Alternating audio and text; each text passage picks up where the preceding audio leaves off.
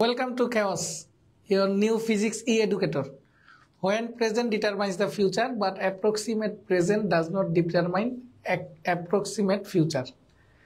তোমার বিশৃঙ্খল কেওয়াটিক পড়ালেখাকে সুশৃঙ্খল করার জন্য আমরা আছি প্রিয় শিক্ষার্থীরা আমাদেরকে শুনতে পাচ্ছ কিনা এবং ভিডিও স্পষ্ট দেখতে পাচ্ছ কিনা আমাকে জানিয়ে দাও তোমাদের অ্যাডমিশন কেওস অ্যাডমিশন নাইট নিয়ে আমরা আবার চলে এসেছি আজকে আমরা ফিজিক্সের অন্যতম গুরুত্বপূর্ণ একটি চ্যাপ্টার তাপগতিবিদ্যা নিয়ে হাজির হয়েছি। তোমরা কে কে আমাকে শুনতে পাচ্ছ? এবং আমাদের ক্লাসটি দেখতে পাচ্ছ, একটু কমেন্টে জানিয়ে দাও। প্রিয় শিক্ষার্থী, যারা যুক্ত হয়েছ, যারা একটু কমেন্টে জানিয়ে দাও, আমা- আমাদেরকে স্পষ্ট শুনতে পাচ্ছ কিনা? এবং ভিডিও স্পষ্ট দেখতে পাচ্ছ কিনা? যারা দায়িত্বে আছো, আমাদের ভিডিওটা ঠিক মতো দেখা যাচ্ছে কিনা, একটু জানিয়ে দেন।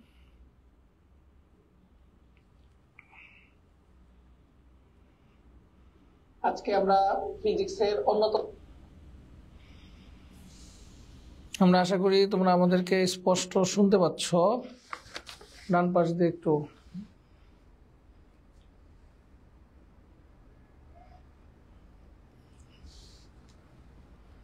জুম করা যাবে না তো, উপরেরটা দেখা যায় না তো জুম আউট করে ওই উপর নিচ করতে হবে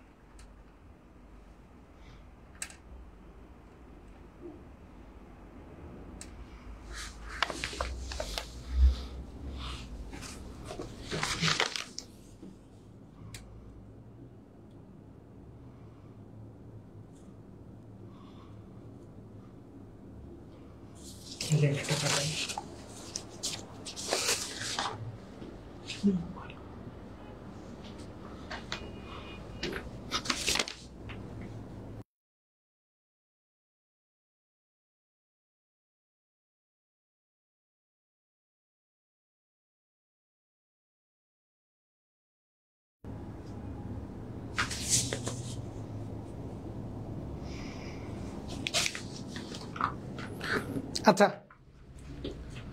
আহ, আশা করি সবাই শুনতে পাচ্ছ। আমরা ভিডিওটি শুরু করতে চাচ্ছি। আমরা আজকে তাপগতিবিদ্যা নিয়ে কথা বলব তোমাদের সাথে। আমাদের প্রথমে যে ক্লাসটা নিয়ে, যে- বিষয়টা নিয়ে আমরা কথা বলতে চাই তোমাদের সাথে,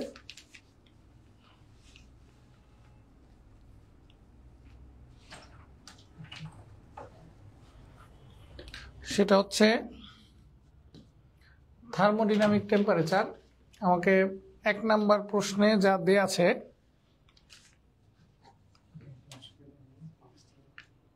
ডিজেল হয়ে গেছে আচ্ছা এত তাপমাত্রা সমতুল থার্মোডিনামিক টেম্পারেচার কত?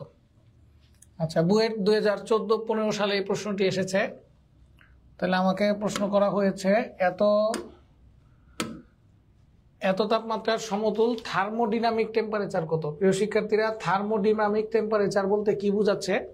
থার্মোডিনামিক টেম্পারেচার বলতে কেলভিন স্কেলে তাপমাত্রা বোঝাচ্ছে। থার্মোডিনামিক টেম্পারেচার মানে হচ্ছে এসআই একক বা আন্তর্জাতিক একক বা এমকেএস একক মানে এটা হচ্ছে হলো কি? এটা হচ্ছে কেলভিন স্কেলের তাপমাত্রা। তাহলে thermodynamic thermodynamic temperature thermodynamic temperature হচ্ছে কেলভিন স্কেলের তাপমাত্রা। তাহলে কেলভিন স্কেলের টেম্পারেচারটা কত? কেলভিন স্কেলের টেম্পারেচার তোমরা মোটামুটি সবাই জানো কে ইকুয়াল টু কি? C plus two seventy three accurately যদি করতে চাও two seventy three plus one six accurately যদি আমরা করতে চাই, আশা করি বুঝতে পেরেছ কত হয়? ঝটপট কমেন্টে লিখে দাও। প্রিয় শিক্ষার্থী, আমাকে যদি শুনতে পাও, স্পষ্ট ভিডিও যদি স্পষ্ট দেখতে পাও, কোনো প্রবলেম হওয়ার সাথে সাথে আমাদেরকে জানিয়ে দাও।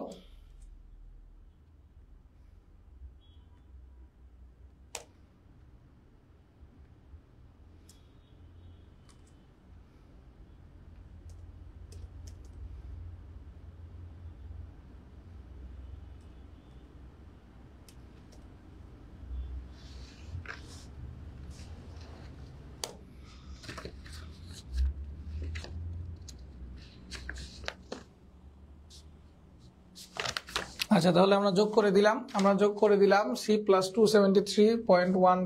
অথবা টু যোগ করলেই যা হবে তা। এখানে যদি আমরা যোগ করে দিই, তাহলে আমরা কত পাবো? Seven seven four eight five আশা করি সবাই বুঝতে পেরেছ। আমরা যদি পরবর্তী কোশ্চেনে চলে যাই, এগুলি সহজ প্রশ্ন, এগুলি নিয়ে আর চিন্তা ভাবনা করার কিছু নাই। ফাইনাইট স্কেলে পরম শূন্য তাপমাত্রা কত? অ্যাপসুলের জিরো টেম্পারেচার তোমরা শিক্ষার্থীরা সবাই জানো যে অ্যাপসুলের জিরো টেম্পারেচার মানে যে তাপমাত্রায় যে তাপমাত্রায় যে তাপমাত্রায় কোনো গ্যাসের আয়তন তাত্ত্বিকভাবে জিরো হয়, সেই টেম্পারেচারটার নাম হচ্ছে শূন্য, পরম শূন্য তাপমাত্রা। তাহলে আমরা জানি পরম শূন্য তাপমাত্রা হচ্ছে সেলসিয়াস স্কেলে চিন্তা করলে মাইনাস দুইশো তিয়াত্তর ডিগ্রি সেলসিয়াস কেলভিন স্কেলে যদি আমরা চিন্তা করি কেলভিন স্কেলে যদি চিন্তা করি, সেটা হচ্ছে জিরো কেলভিন এবং ফারেনহাইট স্কেলে যদি আমরা চিন্তা করি এবং ফারেনহাইট স্কেলে যদি চিন্তা করি, সেটা হচ্ছে মাইনাস চারশো ষাট ডিগ্রি ফারেনহাইট। মাইনাস চারশো ষাট ডিগ্রি ফারেনহাইট।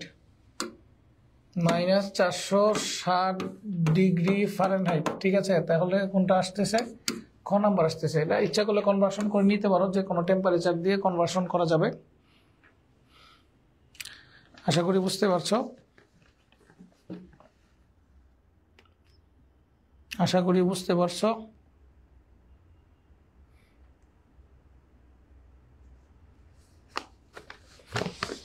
চলো এগিয়ে গেলাম, আমরা যদি এগিয়ে যেতে চাই, তাহলে পরম শূন্য তাপমাত্রা, চমৎকার কনসেপ্ট কত তাপমাত্রায় সেলসিয়াস ফাইনাইট স্কেলে অভিন্ন টেম্পারেচার হবে? এটা প্রায় মুখস্থই টেম্পারেচার তোমরা যদি কেউ না জানো, তোমরা জানো, বলছে কত তাপমাত্রায় সেলসিয়াস ফাইনাইট স্কেলে অভিন্ন টেম্পারেচার হবে? অভিন্ন টেম্পারেচার মানে টেম্পারেচার সেম হবে। অর্থাৎ সি এর সি স্কেলে যদি এক্স ডিগ্রি সেলসিয়াস হয় এফ স্কেলে এক্স ডিগ্রি ফারেনহাইট হবে।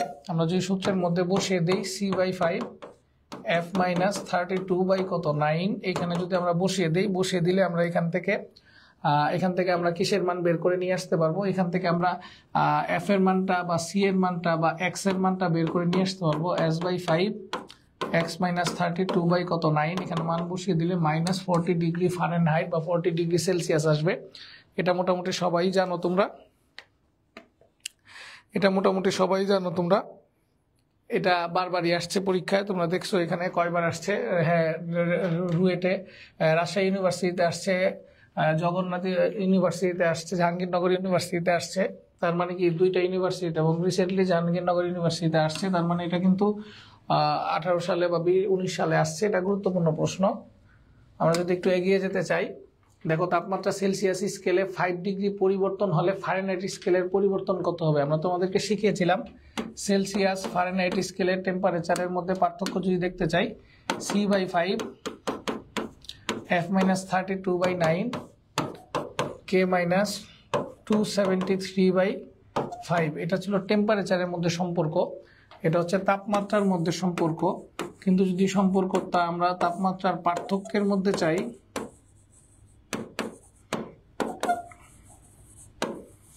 তাহলে সূত্র হচ্ছে ডেল সি বাই কত ফাইভ ডেল এফ বাই কত নাইন আর হচ্ছে ডেল কে বাই কত বলেন তো ফাইভ এটা হচ্ছে তাপমাত্রার পার্থক্যের মধ্যে সম্পর্ক আর এটা হচ্ছে তাপমাত্রার মধ্যে সম্পর্ক। তাপমাত্রা আর তাপমাত্রার পার্থক্য কিন্তু এক নয়। তাহলে আমাকে বলছে তাপমাত্রা সেলসিয়াস স্কেলে ফাইভ ডিগ্রি সেলসিয়াস পরিবর্তন হলে ফাইনাইট স্কেলের পরিবর্তনটা কত? তাহলে সি এর মান কত দেওয়া আছে? বলতো সি এর মান দেওয়া আছে হচ্ছে five by five equal to del F by কত বলতো? নাইন তার মানে কি লিখতে পারি? ডেল এফ ইকুয়াল টু কত বলতো? নাইন ডিগ্রি ফারেনহাইট হ্যাঁ? আশা করি বুঝতে পেরেছ? আশা করি বুঝতে পেরেছ, কোনো প্রবলেম হলে আমাকে জানিয়ে দিতে পারো। প্রিয় বাচ্চা কাচ্চারা চলো এগিয়ে যাইতো এগিয়ে যাইতো আমরা একটু এগিয়ে গেলাম। এক রোগীর দেহের তাপমাত্রা একটি ত্রুটিপূর্ণ থার্মোমিটার মেপে ফর্টি ফাইভ ডিগ্রি সেলসিয়াস পাওয়া গেল। কত পাওয়া গেল? Forty five degree Celsius. যদি এই থার্মোমিটারের বরফ এবং বাষ্পবিন্দু তিন আর একশো ষাট ডিগ্রি সেলসিয়াস হয় তাহলে প্রকৃত তাপমাত্রা ফারেন হাইট স্কেলে কত? প্রকৃত তাপমাত্রা ফারেন হাইট স্কেলে কত? তাহলে আমরা তোমাদেরকে বলেছিলাম যে কোনো টেম্পারেচার মাইনাস আইস পয়েন্টের টেম্পারেচার স্টিম পয়েন্টের টেম্পারেচার মাইনাস আইস পয়েন্টের টেম্পারেচার এই এই মানটা বা এই অনুপাতটা বা এই টেম্পারেচারের ভ্যালুটা এই কনসেপ্টটা সব স্কেলের জন্য, সব তাপমিতিক ধর্মের জন্য, সবার জন্য সত্য। তাহলে সেই ক্ষেত্রে আমরা যদি এটা ফারেনহাইট স্কেলে এবং ত্রুটিপূর্ণ স্কেলে অ্যাপ্লাই করতে চাই, তাহলে এখানে ফাইনাইট স্কেল এবং ত্রুটিপূর্ণ স্কেলে যদি আমরা অ্যাপ্লাই করতে চাই, তাহলে এইটা ইকুয়াল টু আমরা ডিরেক্ট লিখে দিতে পারি। এইটা ইকুয়াল টু আমরা ডিরেক্ট লিখে দিতে পারি। F minus thirty two two twelve minus thirty two তাহলে যে কোনো তাপমাত্রা আমাকে বলা হয়েছে ফর্টি ফাইভ ডিগ্রি সেলসিয়াস পাওয়া গেল। তাহলে forty five degree minus ice পয়েন্টের টেম্পারেচার বলে দিছে ওরা থ্রি ডিগ্রি স্টিম পয়েন্টের temperature one zero seven minus three তাহলে এখানে যদি মান বসিয়ে দিই, তাহলে প্রকৃত তাপমাত্রা কত পাওয়া যাবে? F minus thirty two by কত? ওয়ান এইটটি মান বসিয়ে দিলে কত আসবে বলে ফেলো তো আমাকে? হ্যাঁ বুয়েটে ষোলো, সতেরো সালে এসেছে। কত আসবে বলে ফেলো তো আমাকে?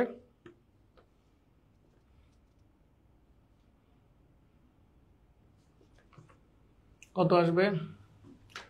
বুয়েটে ষোলো, সতেরো সালে এই প্রশ্নটা এসেছিল। এখান থেকে ক্যালকুলেশন করে এফ এর মান বের করা যাবে। সবাই ক্যালকুলেটার হাতে নিয়ে নেও তো। বলতে পারো কিনা দেখো তো। হ্যাঁ আমরা ক্যালকুলেশন দেখলাম। ক্যালকুলেশন দেখে আমরা কত বের করলাম? একশো চার দশমিক six eight four degree Fahrenheit হ্যাঁ? আশা করি বুঝতে পেরেছ। আমরা তোমাদেরকে শিখিয়েছিলাম যে যে কোনো টেম্পারেচার থেকে আইস পয়েন্ট এবং স্টিম পয়েন্ট থেকে আইস পয়েন্ট এই অনুপাতটা সকল তাপমাত্রার জন্য ইভেন যদি ত্রুটিপূর্ণ স্কেল হয়, তার জন্য এটা কি হবে বলো তো? সত্য হবে, আশা করি বুঝতে পেরেছ। ওকে আমরা এগিয়ে যেতে চাই। আমরা এগিয়ে যেতে চাই। একশো কেজি তামার তাপমাত্রা একশো ডিগ্রি সেলসিয়াস বাড়লে এর ভর কত বাড়ে? তাহলে ভর কত বাড়ে? এরকম একটা প্রশ্ন আসছে। তাহলে ভর কত বাড়ে আমরা তোমাদেরকে বলছিলাম E equal to del M C square মনে আছে তোমাদের নিশ্চয়ই? তাহলে এক কেজি তামার তাপমাত্রা এত ডিগ্রি সেলসিয়াস যদি বাড়ে, তাহলে এক কেজি তামার তাপমাত্রা এত ডিগ্রি সেলসিয়াস বাড়লে, তাহলে সূত্র কি বলতো? M S del theta equal to del M into C square ভর বৃদ্ধি সূত্র এটা। মানে কি পরিমাণ ভরের পরিবর্তন হয়েছে? তাহলে এম এর মান দেওয়া আছে একশো কেজি এস এর মান দেওয়া আছে বিয়াল্লিশশো ডেল থিটা দেওয়া আছে একশো, আর সি এর মান দেওয়া আছে three into ten to the power eight whole square. কত আসবে বলে ফেলো। তাহলে আমরা তোমাদেরকে শিখিয়েছিলাম ডেল এম সি স্কোয়ার। নিশ্চয়ই মনে আছে তোমাদের? ডেল এম সি স্কোয়ার হ্যাঁ। ডেল এম মানে ভরের পরিবর্তন equal to del M C square. Del M মানে হচ্ছে ভরের পরিবর্তন।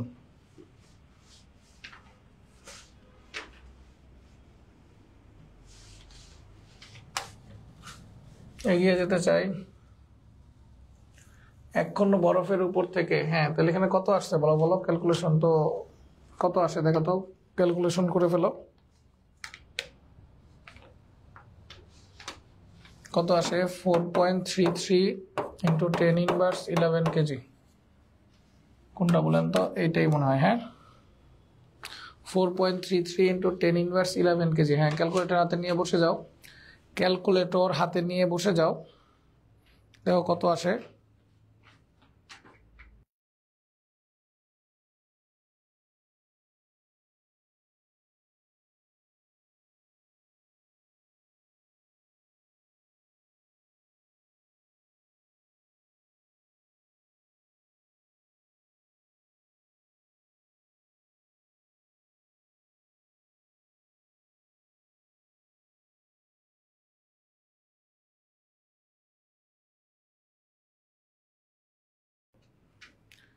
বুঝতে পেরেছ নিশ্চয়ই? অবশ্যই বুঝতে পেরেছ, আমরা এগিয়ে গেলাম। চলো, পরের কোশ্চেনটার দিকে নজর দেই। এক খণ্ড বরফ উপর থেকে ফেলে দেওয়া হলো, ভূমিতে পতিত হলো। এতে পতন শক্তির, পাতন না, পতন শক্তির ফিফটি পার্সেন্ট তাপে রূপান্তরিত হওয়ার, হওয়ায় বরফ খণ্ডটির এক চতুর্থাংশ গলে গেল। তাহলে এতে পতন শক্তির ফিফটি পার্সেন্ট তাপে রূপান্তরিত হওয়ায় বরফ খণ্ডটির এক চতুর্থাংশ গলে গেল। আমাকে বলছে, খণ্ডটি কত কিলোমিটার উচ্চতা থেকে পতিত হয়েছিল? তাহলে বুঝতে হবে, এখানে যেটা বস্তু ছিল, বস্তু ভূমির উপর থেকে এই উচ্চতা নিচে পড়ছে। তাহলে উপর থেকে যে এই উচ্চতা নামছে, এই উচ্চতা নামার পরে সেটার কি বলতো গতি শক্তি যেটা বা বিভব শক্তি যেটাই ছিল, সেটা ফিফটি পার্সেন্ট তাপে রূপান্তরিত হয়ে গেছে। তাহলে তাপ শক্তি যদি কিউ হয় তাপ শক্তিটা হবে হচ্ছিল কি বলতো? পতন শক্তি বা বিভব শক্তির ফিফটি পার্সেন্ট তার মানে আমরা কিউ ইকুয়াল টু কি লিখতে পারি? M by four into L F equal to fifty percent হইলে পয়েন্ট ফাইভ গুণন কত? এম জিএইচ আশা করি কথাটা বুঝতে পেরেছ। পতন শক্তির ফিফটি পার্সেন্ট তাপ শক্তিতে রূপান্তরিত হওয়ায় বরফ খণ্ডটির এক চতুর্থাংশ গলে গেল। তাহলে তাপটা হচ্ছে পতন শক্তির বা বিভব শক্তির ফিফটি পার্সেন্ট হবে। আর তাপের ফলে গলে গেছে এম বাই ফোর তাহলে এম কেজি যদি বরফ আমরা ছেড়ে দিই, তার এম বাই ফোর ফোর পরিমাণ বরফ গলে গেছে। তাহলে এই পরিমাণ বরফ সুপ্ত তাপ গ্রহণ করেছে fifty percent point five M into কত? জিএইচ তাহলে এটা যদি আমরা ক্যালকুলেশন কমপ্লিট করি, তাহলে এখান থেকে এইচ এর মান বের করে যাবে। আশা করি বুঝতে পেরেছ? এইচ এর মান বের করা যাবে। সেই এইচ এর মানটা আসবে কি বলেন তো? এইচ এর মানটা আসবে মিটারে। এইচ এর মানটা আসবে মিটারে। এক, সতেরো হাজার একশো চল্লিশ মিটার হবে। এটাকে যদি আমরা এক হাজার দিয়ে ভাগ দিই, সতেরো দশমিক ওয়ান ফোর কিলোমিটার। আশা করি বুঝতে পেরেছ। দেখে তো বুঝতে পেরেছ কিনা? চমৎকার অঙ্ক। খুলনা ইউনিভার্সিটিতে আঠারো উনিশ সালে আসছে। এটা আরও কোনো ইউনিভার্সিটিতে আসার কথা। চমৎকার অঙ্ক। আশা করি বুঝতে পেরেছি। পরবর্তী অঙ্কের দিকে একটু নজর দেই। তোমাদের যদি কোনো প্রবলেম থাকে, তোমরা কমেন্টে জানিয়ে দিতে পারবে। আমরা এগিয়ে গেলাম পরবর্তী প্রশ্নের দিকে। এখানে কি প্রশ্ন করছে দেখো একশো গ্রাম পানিতে টেন ওহম রেখে তার ভিতর দিয়ে এত সেকেন্ডে এত এম্পিয়ার বিদ্যুৎ প্রবাহিত করলাম, পানির তাপমাত্রা কত বাড়বে? পানির তাপমাত্রা কত বাড়বে? তাহলে পানির তাপমাত্রা কিউ যদি হয়, সেটা হচ্ছে এম এস ডেল থিটা পানির তাপমাত্রা যদি কিউ হয়, সেই কিউ ইকুয়াল টু কত? এম এস ডেল থিটা আর এখানের ডাব্লিউর মানটা বা এখানে যদি যে পরিমাণ কাজ হয়েছে তড়িৎ রোদের মধ্য দিয়ে যাওয়ার সময়, এখানে রোদের মধ্য দিয়ে তড়িৎ যাওয়ার সময় যে পরিমাণ কাজ হয়েছে, সেই কাজের সূত্রটার জন্য আমাদের সূত্র কি বলতো? ভিআইটি সূত্র হচ্ছে আই স্কোয়ার আর টি সূত্র হচ্ছে V square by R T V I T I square R T V square by R T তাহলে এখান থেকে আমরা যদি একটু দেখি, তাহলে হ্যাঁ কি, কো- আছে এখানে? আমাকে রোদ আছে, তার মানে আর আছে। তারপরে হচ্ছে টাইম আছে, তারপরে হচ্ছে আই আছে। তাহলে সেই ক্ষেত্রে কোন সূত্র দিয়ে করতে হবে? আর টি আই এই সূত্রটা দিয়ে। তাহলে কি লিখতে পারি? এখানে কিউটাই হচ্ছে ডাব্লিউ তার মানে কি লিখতে পারি? I square R T equal to M S del theta তাহলে এখান থেকে কি আমরা যে কোনো কিছু বের করে নিয়ে আসতে পারি? তাহলে ডেল থিটা ইকুয়াল টু কি লিখতে পারি? আই এর মান কত দেয়া আছে দেখো? ফাইভ স্কোয়ার আর এর মান কত দেয়া আছে দেখো? আর এর মান হচ্ছে টেন টি এর মান কত দেওয়া আছে? Fifteen I square R T আর নিচে হচ্ছে এম এস এম এর মান দেওয়া আছে হচ্ছে পয়েন্ট ওয়ান আর ডেল থিটার মান দেওয়া আছে হচ্ছে পয়েন্ট ওয়ান এবং ডেল থিটার মান দেওয়া আছে হচ্ছে মানে ডেল থিটার মান বের করব এস এর মান বিয়াল্লিশশো। মানগুলি বসিয়ে দাও তো, কত আসে আমাকে জানিয়ে দাও তো। কমেন্টে লিখো কমেন্টে লিখো, কত আসে একটু জানিয়ে দাও তো। কত আসে জানিয়ে দাও তো। হ্যাঁ হ্যাঁ eight point nine three eight point nine three আসে। তাহলে এখানে eight point nine three degree Celsius, আশা করি বুঝতে পেরেছ? আশা করি বুঝতে পেরেছ এটা। সহজ অঙ্ক। এরপরে যদি এগিয়ে যাই আমরা, প্রকৃতিতে তাপমাত্রা নামক তাপগতীয় চলরাশির পরিচয় পাওয়া যায় কোন সূত্র থেকে? বলে ফেলো তো আমাকে। তাপমাত্রা নামক তাপগতিবিদ্যার, তাপমাত্রা নামক তাপগতিবিদ্যার হ্যাঁ তাপমাত্রা নামক তাপগতিবিদ্যার সূত্র পাওয়া যায় কোন সূত্র থেকে? হ্যাঁ সূত্র পাওয়া যায় কোন সূত্র থেকে? বলতে পারো আমাকে? বলতে পারো আমাকে? হ্যাঁ তাপমাত্রার আইডিয়া পাওয়া যায়, তাপমাত্রার সাম্যাবস্থার আইডিয়া পাওয়া যায়, তাপগতিবিদ্যার শূন্যতম সূত্র থেকে। তাপগতিবিদ্যার কোন সূত্রকে ভিত্তি করে থার্মোমিটার তৈরি করা হয়? এটাও শূন্যতম সূত্র থেকে। একটি তাপীয় ইঞ্জিন প্রতি চক্রে ধনাত্মক কাজ করে, তাপ হারায়, কিন্তু ইঞ্জিনটি কোনো তাপ গ্রহণ করে না। ইঞ্জিনটি তাপগতিবিদ্যার কোন সূত্রকে সমর্থন করে? কথা বুঝো। একটি তাপীয় ইঞ্জিন প্রতি চক্রে ধনাত্মক কাজ করে। এটা তাপগতীয় ইঞ্জিন প্রতি চক্রে ধনাত্মক কাজ করে। প্রতি চক্রে ধনাত্মক কাজ করে এবং কি করে বলতো? প্রতি প্রতি চক্রে ধনাত্মক কাজ করে এবং কি করে বলতো? তাপ হারায় কিন্তু ইঞ্জিনটি কোনো তাপ গ্রহণ করে না। তাপ গ্রহণ করে না, ইঞ্জিনটি তাপগতিবিদ্যার কোন সূত্রকে সমর্থন করে? যখন ইঞ্জিন থাকবে, ইঞ্জিনটা তাপগতিবিদ্যার কোন সূত্রকে সমর্থন করে বলেন? তো অবশ্যই দ্বিতীয় সূত্রকে সমর্থন করবে। মনে আছে নিশ্চয়ই? বলতো এই তিনটা প্রশ্ন নিয়ে কারও কোনো প্রবলেম আছে কিনা?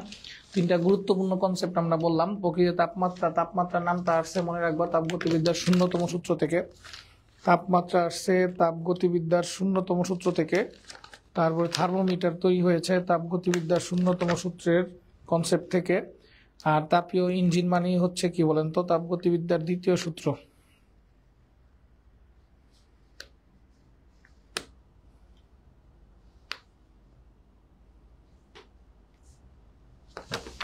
বুঝতে পেরেছি? আচ্ছা এগিয়ে গেলাম। তারপরের কনসেপ্টটা কি একটু দেখো? একটি তাপীয় ইঞ্জিন প্রতি চক্রে এটা তো মাত্রই করলাম।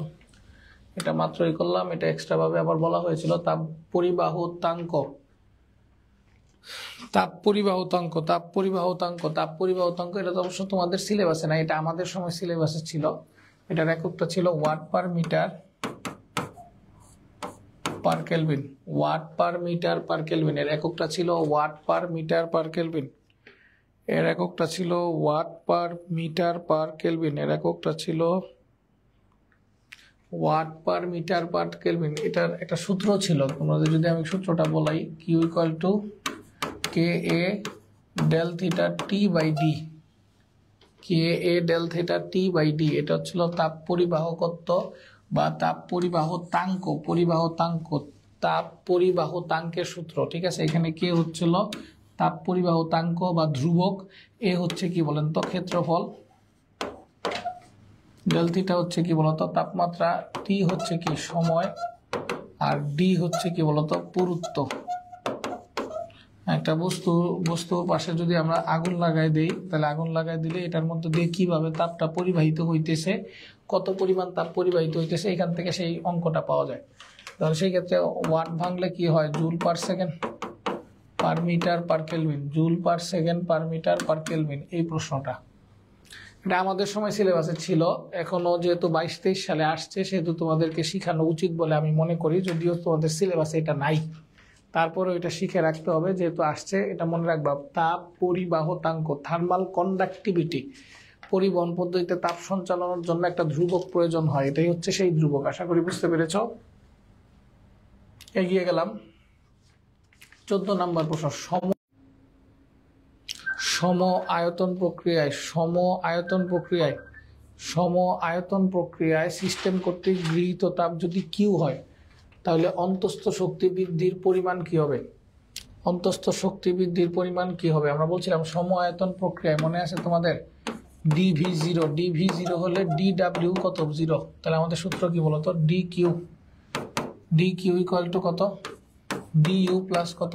ডি ডাব্লিউ তাহলে বলছে কিউ যদি অন্তঃশক্তি বৃদ্ধির পরিমাণ কত হবে? গৃহীত তাপ যদি ডি কিউ হয়, তাহলে কিউ হইলে অন্তস্থ শক্তির পরিবর্তনও কিউ হবে, এটা তো জিরো আশা করি বুঝতে পেরেছ, এটা সহজ অঙ্ক বাইশ তেইশ সালে আসছে। জিএসটিতে বাইশ তেইশ সালে আসছে জিএসটিতে।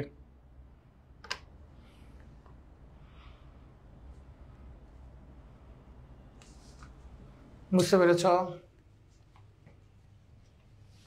এগিয়ে যেতে চাই।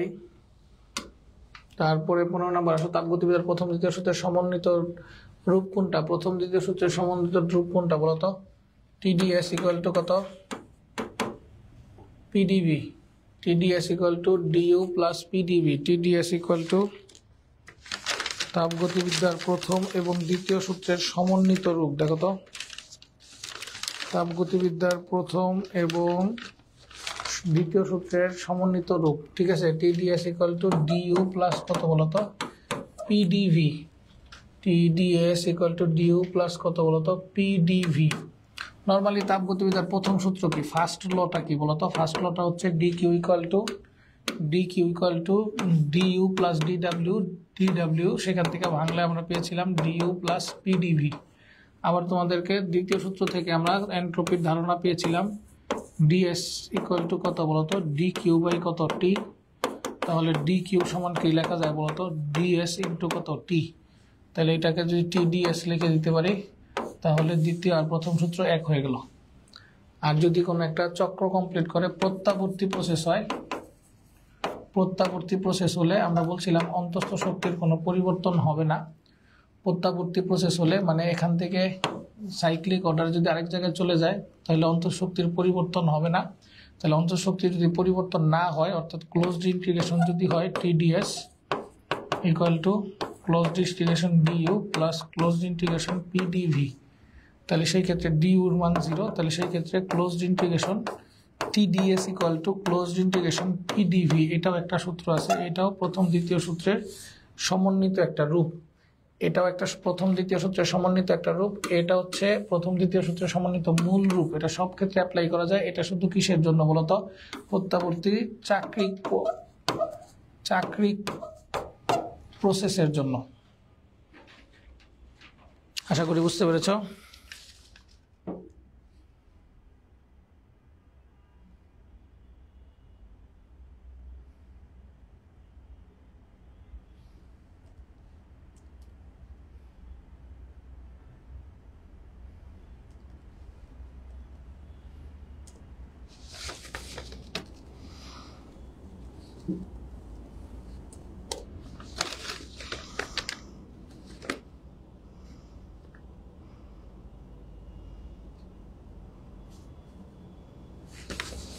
বলো তারপরে আর কি লাগবে?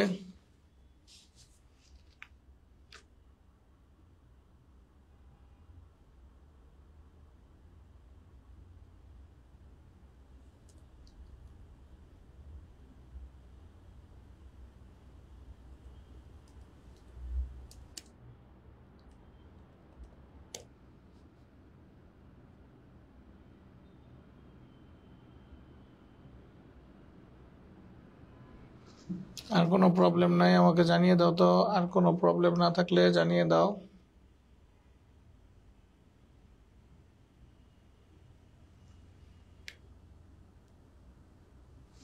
চলো এগিয়ে যাই, দেখি এর পরের কনসেপ্টে কি আছে। একটি আদর্শ গ্যাস তাপ অন্তরকের আবরণযুক্ত দৃঢ় পাত্রে শূন্য মাধ্যমে প্রসারিত হলো। নিম্নের কোনটি ঘটবে তাপ অন্তরকের আবরণে যুক্ত আছে, তাহলে তাপ অন্তরক মানে হচ্ছিল কি বলতো? রুদ্ধতাপীয় প্রসেস তাহলে রুদ্ধতাপীয় প্রসেস যদি হয়, তাহলে প্রশ্নটা কি? তাহলে নিম্নের কোনটি ঘটবে?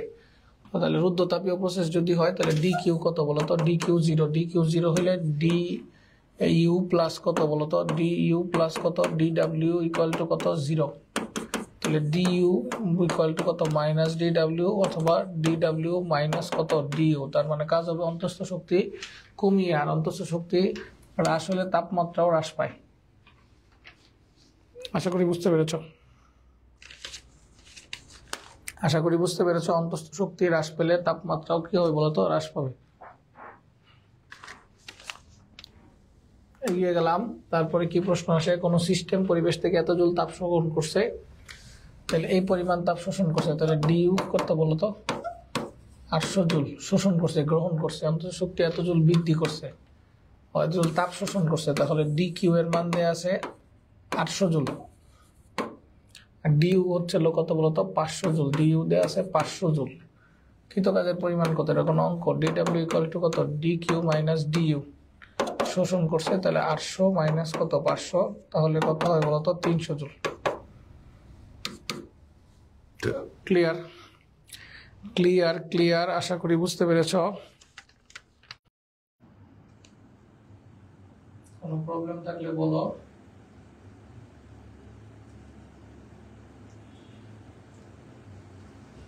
কোনো প্রবলেম থাকলে বলো।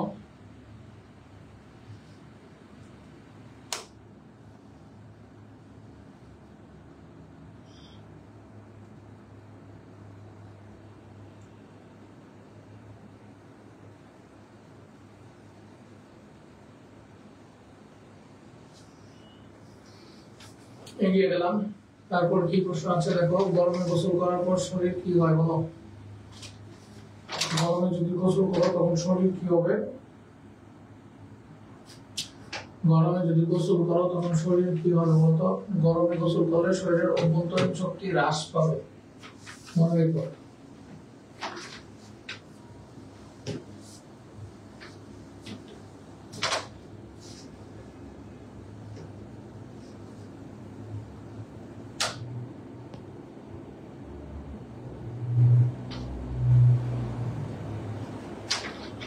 প্রশ্ন হচ্ছিল কেন?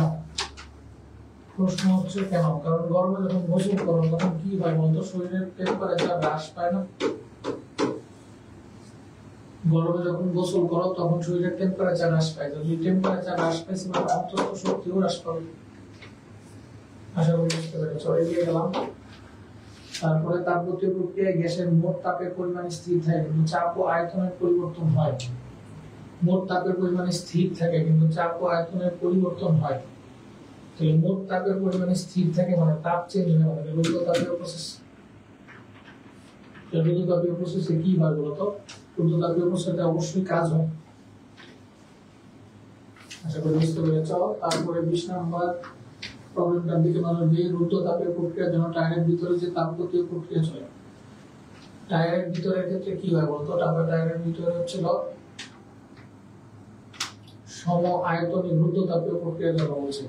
টায়ারের ভিতরে যে তাপগতীয় প্রক্রিয়া চলে তাপীয় প্রক্রিয়ার জন্য তাপগতীয় প্রক্রিয়া হচ্ছিল টায়ারের তো আয়তন চেঞ্জ হয় না। তাহলে যদি আয়তন যদি চেঞ্জ না হয়, তাহলে কি কি চেঞ্জ হয় বলতো? চাপ রুদ্র তাপীয় প্রক্রিয়ায় যদি আয়তন চেঞ্জ না হয়, আয়তন যদি চেঞ্জ না হয়, তাহলে কিসের পরিবর্তন হয় বলে বলো?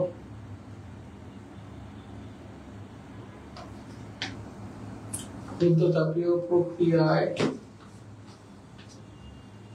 আয়তন যদি চেঞ্জ না হয়, তাহলে কিসের প্রক্রিয়া হবে বলতো আয়তন চেঞ্জ হবে না। টায়ারের ভিতরে আয়তন চেঞ্জ হবে না। আয়তন যদি চেঞ্জ না হয়, তাহলে এটা সূত্রটা এরকম হওয়ার কথা। T V one minus gamma by gamma constant এই সূত্রটা হওয়ার কথা। সেখানে কি চেঞ্জ হবে না আয়তন চেঞ্জ হবে না হ্যাঁ? এটা একটু ভেজাল আছে এগিয়ে গেলাম। তারপর হচ্ছে সমস্ত প্রক্রিয়া এক গ্রাম মোল গ্যাস, এত তাপমাত্রায় আয়তন দ্বিগুণ হওয়া পর্যন্ত প্রসারিত হয়। তাহলে সমস্ত প্রক্রিয়ায় এক গ্রাম মোল, এক গ্রাম মোল মানে হচ্ছে এক মোল। এত তাপমাত্রায়, তার মানে টি এর মান হচ্ছে একশো সাতাশ ডিগ্রি সেলসিয়াস, তার মানে কত চারশো কেলভিন তাপমাত্রা।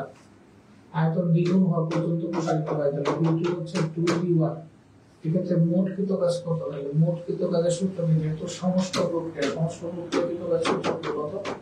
এনআরটি লন কত বি টু বাই সব দিয়ে আছে সব দেওয়া আছে এটা ওয়ান এটা হচ্ছে eight point three one four T এর মান চারশো। লন টু বুঝছ কিনা দেখো। কিনা দেখো।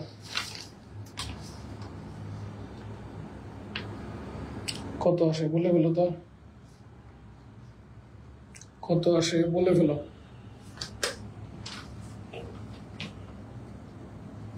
কত আসে বলে ফেলো। দেখো তো ক্যালকুলেশন করে কত আসে। দেখো তো ক্যালকুলেশন করে কত আসে।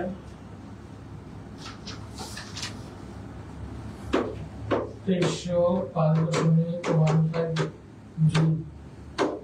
এটা যদি আমরা ফোর পয়েন্ট টু দিয়ে ভাগ দিই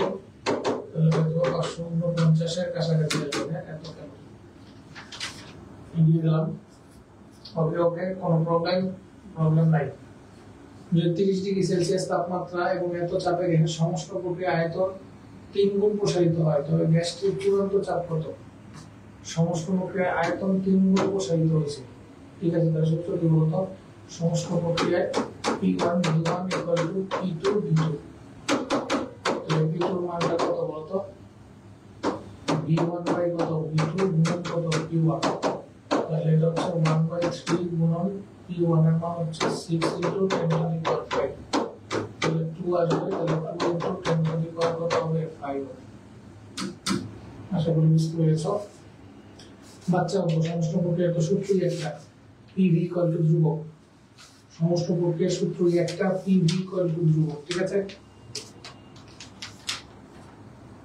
এগিয়ে গেলাম নির্দিষ্ট পরিমাণ বায়ুকে সমস্ত প্রক্রিয়া সংকুচিত করে আয়তন অর্ধেক করা হলে চূড়ান্ত চাপ কত সমস্ত প্রক্রিয়া এবার মনে রাখবা, আয়তন আর চাপ আয়তন অর্ধেক করলে চাপ দ্বিগুণ হবে।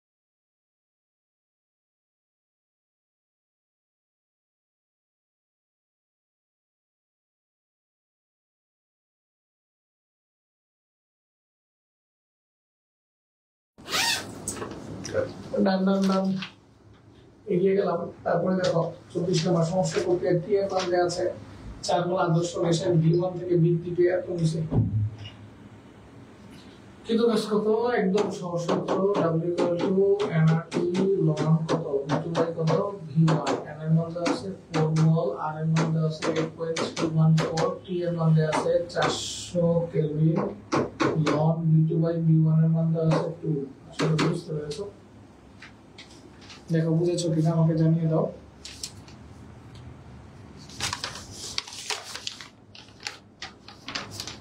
একদম বাচ্চা অঙ্ক। একই টাইপের অঙ্ক, দেখছ? তোমাদের বলো যে কোশ্চেন কঠিন হবে, তো কঠিন হওয়ার কিছু আমি দেখি না আসলে। কঠিন হওয়ার কিছু আমি দেখি না আসলে। এখানে মান বসে যত হয় তত।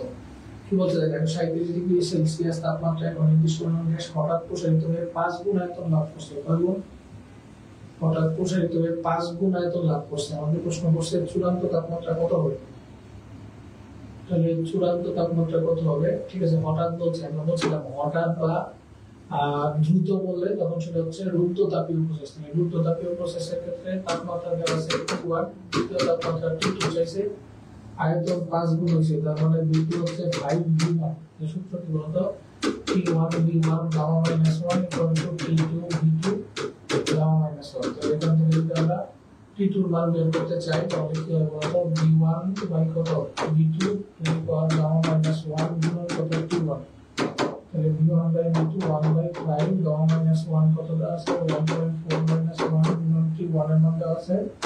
একশো তিয়াত্তর বুঝতে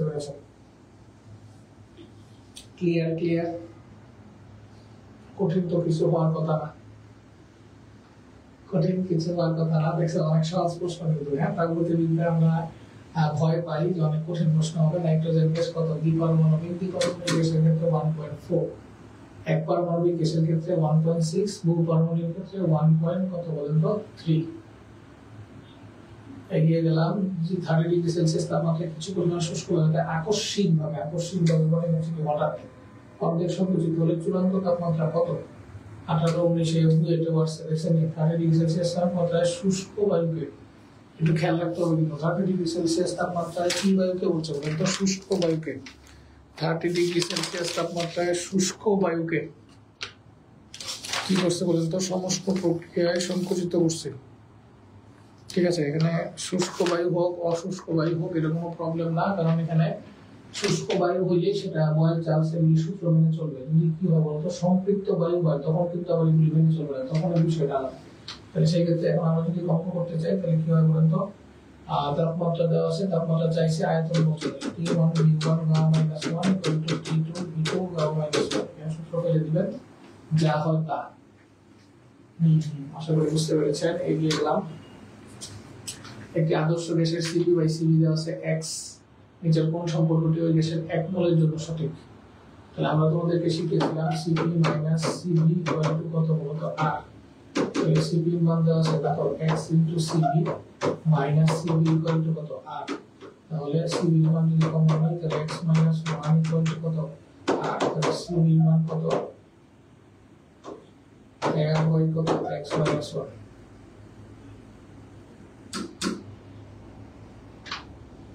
এগিয়ে গেলাম এগিয়ে গেলাম Education is the most powerful weapon you can use to change the world. Nelson Mandela. দেখো উম, শিক্ষা কিন্তু আসলে মানে বড় একটা উইপন যেটা আসলে আমরা ব্যবহার করতেছি। অনেকে বলতেছিল যে পড়ালেখা করে কি হবে? ফুড ব্লগার হই? আহ, অনেক টাকা ইনকাম করতে পারব। ইনকাম করতে পারব। কিন্তু আসলে খেয়াল দেখো হিরো আলম ব্লগার যারা আছে, তাদের ভুলগুলি ধরার জন্য হলেও বা তাদেরকে তাদের জন্য পড়ালেখা করতে হবে। ঠিক আছে রিসেন্টলি যে ধরনের ঘটনাগুলি ঘটেছে সেইখানে থেকে তোমাদের কিন্তু এই শিক্ষাটাই পাওয়া উচিত। তাহলে পড়ালেখা আবার শুধু ইনস্টিটিউশনাল পড়ালেখা না, নিজের ভিতরেও কোনো সত্য থাকতে হবে, পড়ালেখার কনসেপ্ট থাকতে হবে। যাই হোক তোমাদের এই উইপনে তোমরা শক্তিশালী হও। এই আশা রইল আমাদের পক্ষ থেকে। আমাদের মোটামুটি আজকের ক্লাস আমরা শেষ করলাম। Thank you very much for আমাদের ক্লাস অ্যাটেন্ড করার জন্য। আগামী সোমবারে আবার দেখা হবে। নেক্সট সোমবারে হয়তো আমরা স্থির তৈরি বা চলতরিতে একটা চ্যাপ্টার নিয়ে তোমাদের সামনে হাজির হব। সেই পর্যন্ত তোমাদের সুস্বাস্থ্য কামনা করি। যারা আমাদের ক্লাসটি পরবর্তীতে দেখবে অবশ্যই কমেন্ট করে তোমার মতামত, প্রশ্ন জানিয়ে দিতে পারবে। সেই পর্যন্ত তোমাদের সুস্বাস্থ্য কামনা করি। ভালো থেকো আসসালামু আলাইকুম।